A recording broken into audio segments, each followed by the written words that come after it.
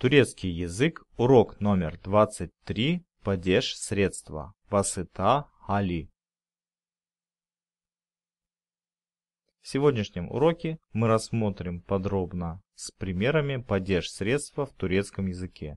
Это один из дополнительных падежей, основных падежей, как вы знаете, у нас 5.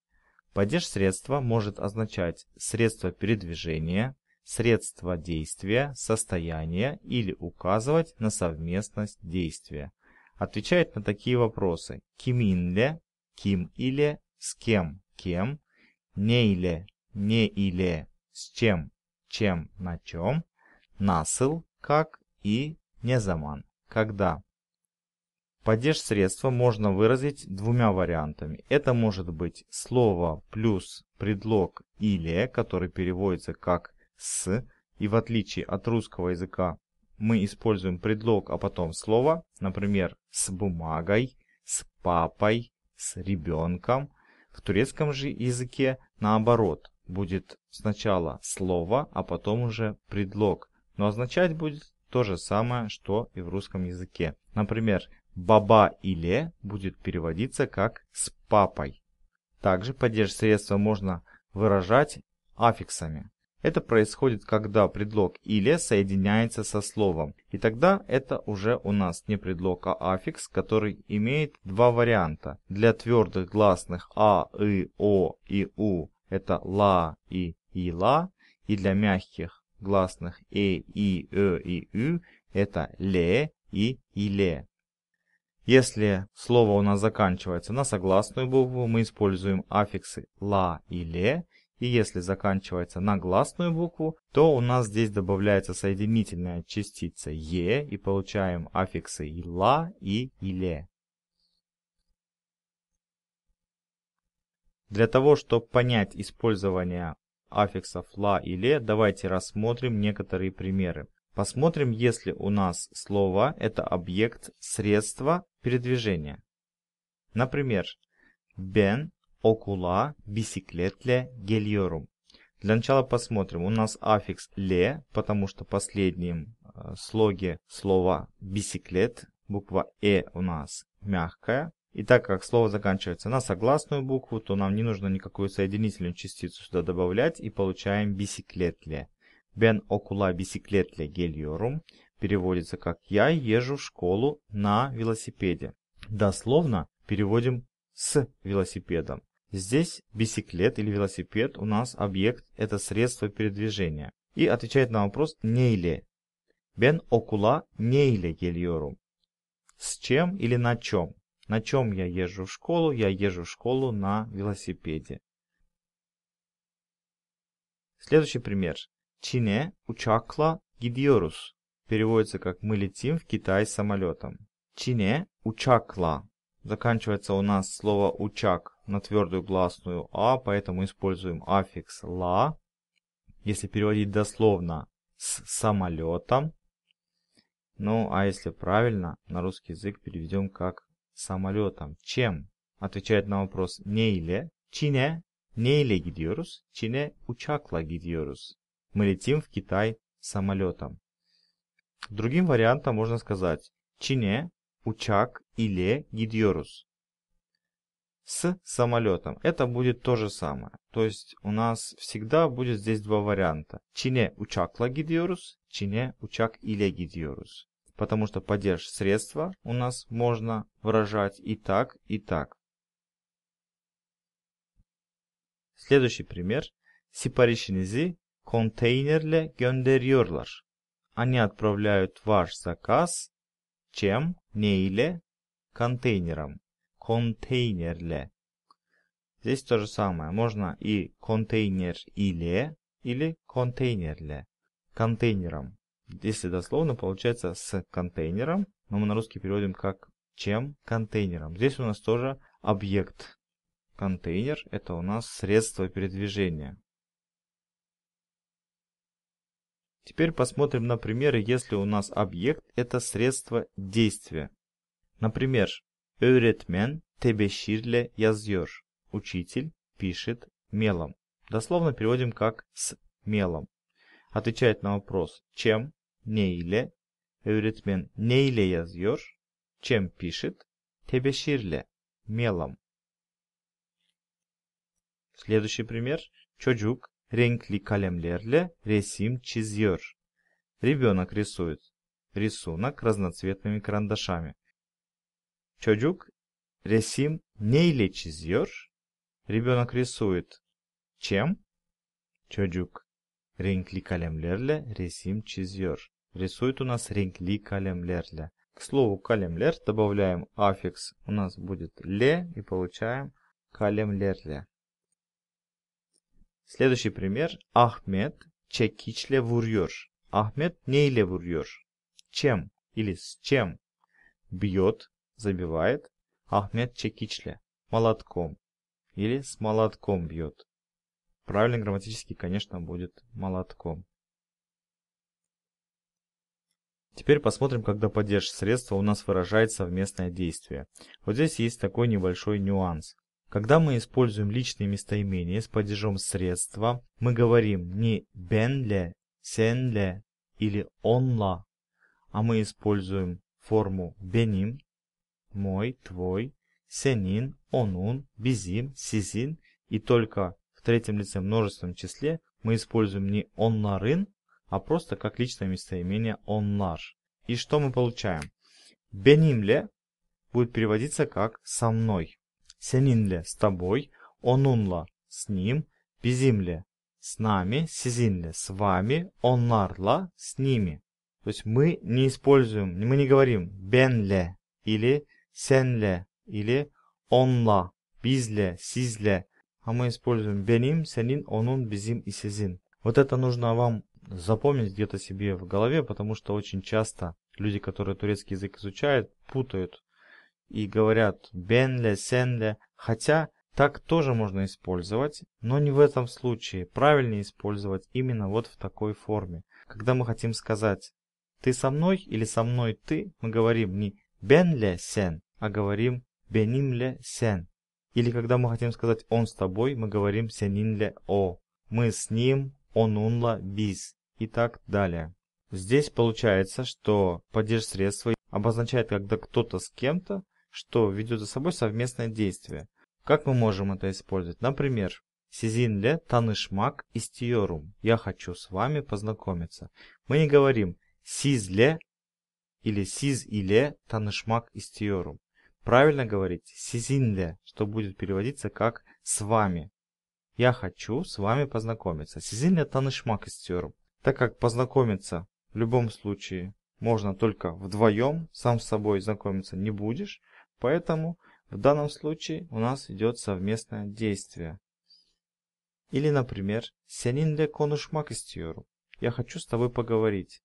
Смотрите, не сенле, а сенинле конушмак истиyorum. Я хочу с тобой поговорить. Опять же, действие у нас идет совместное, потому что разговаривать можно вдвоем или более с людьми. И в данном случае тоже падеж средства используются для обозначения совместного действия. Здесь отвечает на вопрос киминде. Киминде konuşmak istiyorum, seninle konuşmak istiyorum. Следующее. Bugün Arkadaşımla sinemaya gidiyoruz. Сегодня я с другом, мы с другом, синемая gidiyoruz. Идем в кинотеатр. Здесь слово аркадашимла. Аркадашим это мой друг.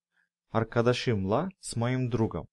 Так как здесь глагол идем, значит получается с моим другом кто идет? Я тоже включаюсь в эту группу. И получается, что мы. Опять же здесь совместное действие. Или следующий пример. И вот здесь тоже хочу вам показать два варианта, как можно сказать практически одно и то же предложение, но будет различаться, в какой форме мы будем использовать глагол. Например, ben eşimle tatile gidiyoruz. Я еду на отдых с женой. И второй вариант такого же практически предложения. Eşimle ben tatile gidiyoruz. Здесь в переводе на русский язык если мы захотим понять с нашей логикой, может быть будет не совсем понятно, почему в первом варианте мы используем глагол гидьору «я еду», хотя там тоже вроде бы есть моя жена со мной, а во втором варианте мы едем, используем уже гидьорус, не я, а мы. Потому что когда в первом предложении, смотрите, ben tatile gidiyorum. Я еду на отдых. И kiminle, с кем? Eşimle. То есть я еду и как бы жену с собой прихватил на отдых. А во втором варианте eşimle ben. Я с женой. Это уже получаемся мы, и поэтому здесь используем глагол gidiyoruz. И получается eşimle ben tatile gidiyoruz. Надеюсь, вам здесь будет понятно, хотя это очень тонкая такая линия. Теперь пример, если объект у нас описание действия и отвечает на вопрос nasıl, как. Например, ищи kolaylıkla yapıyor. Он с легкостью справляется с делом. Ищи yapıyor. Делает работу или справляется с делом. Kolaylık – это легкость. Kolaylıkla – с легкостью. Ищи nasıl yapıyor. Как он делает эту работу. Ищи kolaylıkla yapıyor. Он делает работу или справляется с делом с легкостью. Или, например, dalga büyük hızla geliyor. Волна приближается с великой скоростью. Dalga nasıl geliyor? Волна как приближается? Dalga nasıl geliyor? Dalga büyük hızla, с большой скоростью. Hız скорость, hızla с скоростью, Бьюк у нас с большой, с великой. И получаем на вопрос насыл как долга насыл geliyor. Ответ долга бьюк хызла geliyor. Также можно использовать падеж средства, когда у нас объект описания времени действия и отвечает на вопрос не заман. Когда? Например, Зилин sesiyle yarışma başlıyor. Соревнование начинается с звука звонка. Зелень сеси. Это у нас здесь такой изофет как бы. И к нему добавляем аффикс падежа средства, так как слово сес это звук. Здесь у нас аффикс, поэтому зелень сеси. И между буковкой и и после гласной мы добавляем соединительную частицу е и получаем аффикс ile, сесиле, Yarışma başlıyor. Соревнование начинается с звука звонка. Или второй пример. Güneşin doğuşuyla şehir уянyor. Здесь у нас güneşin doğuşu. Это восход солнца. Это тоже изофет и тоже заканчивается на гласную у, поэтому у нас аффикс ила. И получаем güneşin doğuşuyla şehir уянyor. Город просыпается с восходом солнца. Смотрите, и здесь, и там Действие отвечает на вопрос «не заман» – «когда». В первом предложении «Ярышма не заман başlıyor». «Ярышма зелин сесиле başlıyor». И во втором варианте «Şehir не заман уянıyor». Город когда просыпается. И отвечаем güneşin doğuşuyla şehir uyanıyor. Или şehir güneşin doğuşuyla uyanıyor. Можно переставлять слова. И так, и так будет одинаковый смысл. Как вы знаете, глаголы управляют в турецком языке падежами. И вот посмотрим на глаголы, управляющие падежом средства. Это такие глаголы, как anlaşmak – договариваться, görüşmek – видеться, обсуждать, barışmak – мириться, bozuşmak – ссориться, birleşmek – объединиться, dertleşmek – делиться проблемами, güreşmek – бороться, dans etmek танцевать, конушмак, разговаривать, курур дуймак, гордиться, чевермек, обносить, чарпмак, умножать. Такие глаголы, как анлашмак, görüşmek, там все понятно, потому что у нас это идет совместное действие, да? Договариваемся с кем-то, видимся с кем-то, миримся опять же с кем-то, ссоримся с кем-то, объединяемся с кем-то делимся проблемами. То есть это всегда у нас действие происходит совместно. Ты всегда должен с кем-то это действие делать. Поэтому здесь все понятно. Но есть такие глаголы, как, например, гордиться. То есть для того, чтобы гордиться, не нужно, это не совместное действие с кем-то, да, ты кем-то гордишься.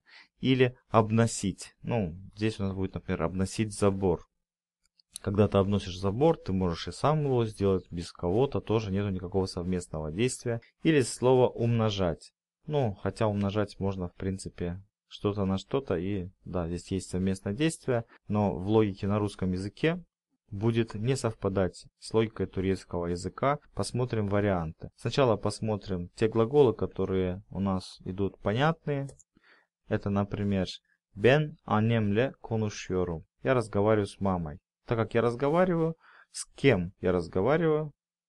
Да, на ответ kiminle konuşuyorum, с кем разговариваю? Annemle, с мамой. Здесь вообще никаких вопросов. Или, например, arkadaşımla dertleşiyoruz. Глагол dertleşiyoruz – это делимся проблемами.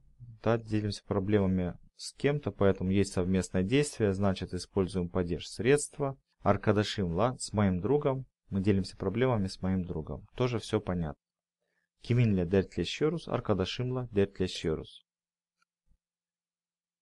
Следующий пример. Селим Муратла güreşiyor. Селим борется с Муратом. Ну, раз он борется, значит он не один борется, а с кем-то борется. Совместное действие есть, поэтому используем падеж средства. Плюс, так как у нас слово Мурат это имя собственное, мы не забываем отделять аффикс от имя собственного апострофом. И Селим Kiminle güreşiyor? С кем борется Селим? Селим Муратла güreşiyor. Селим борется с Муратом. Здесь все понятно. И теперь переходим к глаголам, которые не совсем понятны для нас. Например, Бабам benimle gurur duyuyor. Мой отец гордится мной. Гордится кем? Гордится мной. То есть в русском языке не с кем, да, как бы, а кем. Не совсем понятно, почему папа со мной гордится. Но вот в турецком языке это надо просто запоминать. Этот глагол гурур дуймак всегда используется с падежом средства. Всегда. И получаем Бабам бенимле гурur duyuyor. Ну вот принимайте турецкий язык такой, какой он есть. Здесь никакого варианта для объяснения просто как бы нет. Или бахчей дуварла çeviriyoruz. Мы обносим огород чем? Забором. Ну, здесь более-менее понятно. Огород обносим с забором, да, дуварла. Бахчей неyle çeviriyoruz? Бахчей дуварла çeviriyoruz. И последний пример. Beşi 8 ile умножаю 5 на 8. Если дословно переведем, получается 5 с 8 умножаю. Здесь, возможно, не совпадает логика русского и турецкого языка. Это тоже с практикой вы принимаете и просто уже используете эти глаголы в нужных падежах. Проблем с этим не будет после того, как у вас будет достаточно практики. На этом сегодняшний урок окончен. Спасибо за внимание. До скорых встреч.